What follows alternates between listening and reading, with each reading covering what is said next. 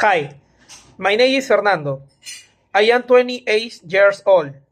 My date of birth is February 2, 1994. I was born in Lima, Peru. I live with my mother and my little brother in the San Miguel district. Uh, my specialty is mana- management. I perform very well in the administrative area. I work in a construction company serving as project manager. In my free time, I love to listen to music rock and salsa. Another one of my hobby is traveling. I love to travel a lot.